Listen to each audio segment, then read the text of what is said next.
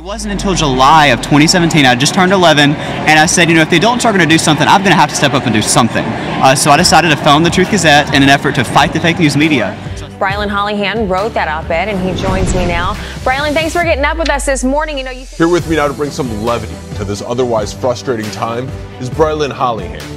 As a teenager from the Truth Gazette, and he's gotten some pretty big names. One of those upstanding young men and women who are taking matters into their own hands in the media world 15 year old Brilyn Hollyhand. Brilyn Hollyhand is the co chair of the RNC's inaugural Youth Advisory Council. Brilyn, that is probably the nicest introduction I ever got. I've got to tell you, I'm impressed. I wish that other reporters around the country were as smart and talented and knowledgeable at, about the issues as you are. Oh, thank you for having me, Brilyn, and thanks for your almost five year incredible success with the Truth Gazette. Good for you. How bad the country is. So I think the American mm-hmm. people have realized that when they elected a clown to office, this is the circus that was to follow. To wake up, yeah. we have to start involving my generation and focusing on winning over the youth vote if we want a shot at winning in 2024.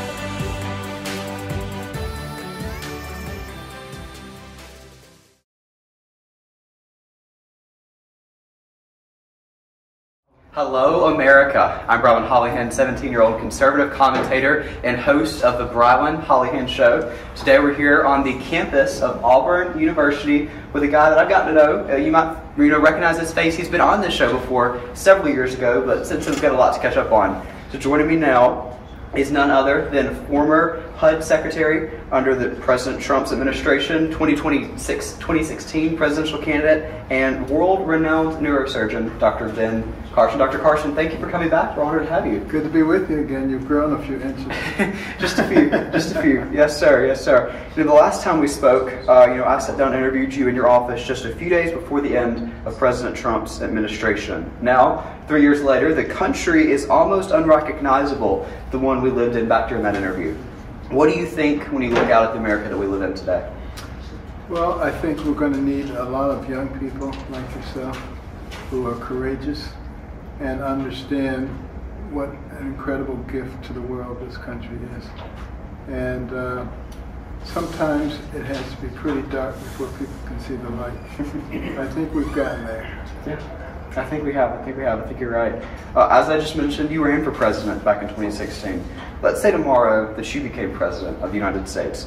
What would be the first thing you would do when taking office to set our country back on track as a leader of the free world?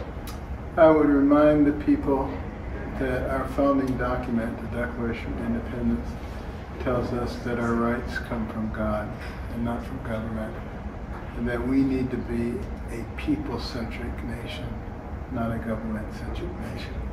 We need a lot more of that back up in Washington. we miss you out there desperately. Uh, you know, two days ago, we had elections across the country.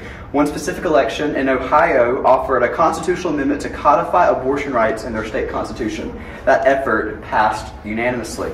The rights to murder an innocent baby is now protected under their state constitution. Roe v. Wade was overturned last summer thanks to the administration that you served in, but now we're seeing states like Ohio continuing to support this atrocity. What should we in the pro life movement be doing nationally to protect the unborn? Well, it's very important that we understand that the solution is going to be through convincing people, not coercing people. Yes. and uh, we have to adjust uh, our speech accordingly. Of course, we don't want any lives to be lost, but we need to understand that it's a progression. And, uh, you know, Roe v. Wade, that's one step in the right direction. Uh, 15 weeks would be another step in the right direction. Six weeks would be another step in the right direction. We just keep moving forward and helping people to understand the value of life. And I think a lot of the young people are seeing this because they've grown up in an era where we can actually see what is in that woman's Absolutely. So it's much more difficult to say it's a meaningless bunch of cells when you can see it. Yes, you're completely right. I think, our, you know, in conversations on college campuses that I travel to, we're seeing that with our generation. They're they're waking up a little bit, which is so so great, eh, awesome to see. We hope that my generation will be the generation that you know, bans abortion once and for all. Well, I, I hope in the future people will look back at this time and say, "Wow, those barbarians," but they actually finally figured it out. Yes, yes, and hopefully, hopefully we can have that happen pretty soon. Yeah. Um, you know, if Donald Trump was reelected to the White House next November, say he calls you that next morning, he asks you to come back and serve in his cabinet, would you say yes? Well, let me put it this way I will always do what the Lord wants me to do. But I very much enjoy my time in the private sector. Yeah, no. would, would you be interested in a, in a HUD, you know, secretary position again, or are you looking at something else? I am looking to save our country. And I would probably leave it at that. well, we would love to see you back up there, for sure. You're missed, you're missed dearly. Uh, you know, I don't think it's a secret that the former president won't be tapping Mike Pence, someone that uh, we both know pretty pretty well, uh, you know, to serve as his vice president again. What advice would you have for whoever he selects to be his next running mate? Uh, or is there a specific person you have in mind that he should pick? Well, I think it, it needs to be uh, someone who can uh, sort of balance off a little bit the hyperactivity that we sometimes see. Sure.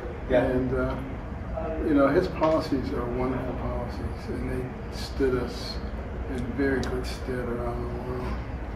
Um, the rhetoric sometimes uh, was counterproductive, and as a result, you have a bunch of people who love his policies, but are so turned off by the rhetoric that that they don't act in a rational way. Sure. Because what would be more rational?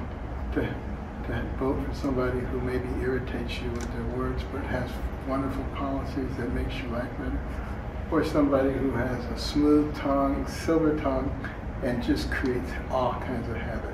yeah, oh yeah, no, I completely agree. Yeah. Oh, you know, tonight in your speech, you're going to be talking about an executive branch for America program that you just recently launched to help get conservative college students involved in today's political world. Would you like to talk a little bit about that? Yeah, well, you know, when people go to Washington, either newly elected officials or staffers, it generally takes them at least a year just to get acclimated to what's going on. There's, there's so many complicated relationships. And uh, the Executive Branch for America is to give them that knowledge before they get there so they can hit the ground running.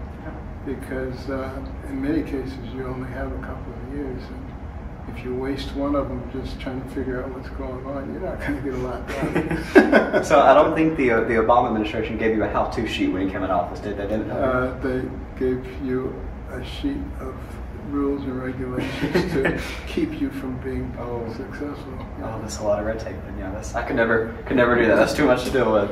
Uh, closing out here today, tonight you will be addressing a packed room of students, about 1,200 on campus here at Auburn University. A lot of people in the room tonight, like myself, will be first-time voters next November. Uh, you know, what message will we be giving to our generation tonight? I would help people to understand that everybody has a sphere of influence so don't feel that you're helpless and that you're uh, of no value. Uh, you can affect a lot of people. And the other message is that we, the American people, are not each other's enemies. And don't allow yourself to be manipulated into thinking that we are enemies because that's how they destroy our nation. Yes, absolutely. That's powerful, and we're looking forward to hearing it. Dr. Carson, thank you so much for taking the time. I know you're very busy. We appreciate you doing this. It's a pleasure. I'll probably see you again when you're a correspondent in college. yes, sir. We'll have to catch up in a few years or another a third interview. Uh, for more interviews of the Show, you can go to thebrilynhollyhandshow.com or look us up on your favorite podcasting platform. Obviously, you can follow myself, Brilyn Hollyhand, on Facebook, Twitter, Instagram, TikTok. Dr. Carson is on all of them as well, so make sure to check him out. He's got great content. So, again, Dr. Carson, thank you so much. I appreciate you doing this.